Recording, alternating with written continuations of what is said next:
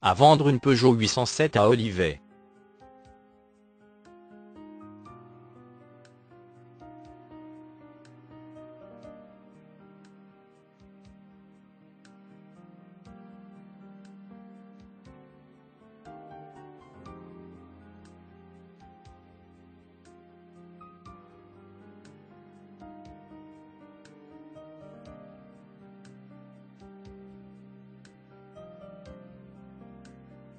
Pour plus d'informations, cliquez sur le lien dans la description.